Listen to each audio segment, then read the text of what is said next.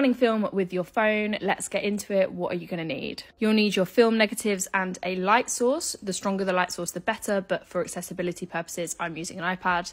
You're also going to need your phone and the Lightroom app. And then I'm going to be using the Pixl-latr to help keep the film in place and also to diffuse your light source. I'll link that in the comments. So first up, you're going to set up your light source and load the film into your Pixl-latr film holder. Pixl-latr helps you digitalize your film. You can use a DSLR setup, but we are just going to be taking photos with our iPhone to show you a really accessible way of doing so. So take your photos in your normal camera app, take a few different ones, and then import it into your Lightroom app. Once we've imported into the Lightroom app, we're going to open up our curves and we're going to invert the curve and then just play around with the different curve colors to get your colors right. Remember that since this is inverted, it's going to kind of work opposite to how it normally would. Play around with the different light and color tools in Lightroom until you have some colors that you're happy with.